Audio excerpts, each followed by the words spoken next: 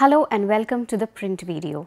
I am Sumi Sukanya Dutta and today I will discuss India getting a new antibiotic combination to treat complicated bacterial infections.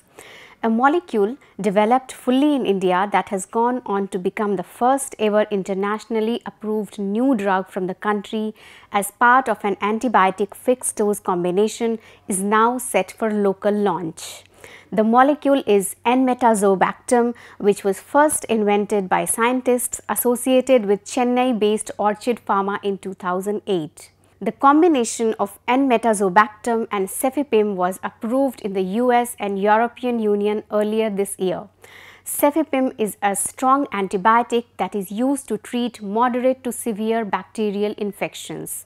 In the US, the combination is being marketed under the brand name of Exblifep.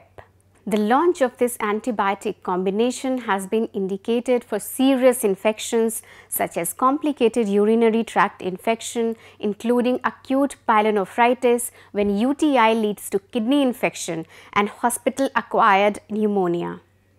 It has also been indicated for bacteremia or bacterial infection of the blood. The launch of the antibiotic drug combination is likely to improve the treatment landscape for serious infections in India, providing patients with access to advanced and effective therapy options. The development is particularly significant for the country grappling with the growing burden of antimicrobial resistance or AMR or cases where disease causing pathogens are getting resistant to existing therapies. Talking to us, Manish Dhanuka, Managing Director, Orchid Pharma, explained that though cefepime is a powerful antibiotic, several superbugs are now getting increasingly resistant to it, limiting the choice of drugs that effectively combat them.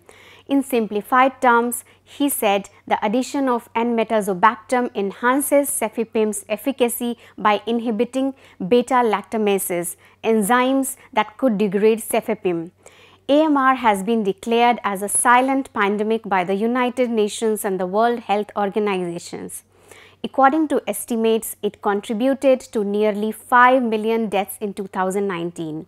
In India in 2019, it was estimated that there were nearly 3 lakh deaths attributable to AMR and 10 lakh deaths associated with it. It was also found that in the country, the deaths due to AMR were higher than deaths from cancers, respiratory inf infections, tuberculosis, enteric infections, diabetes, kidney diseases and maternal and neonatal disorders.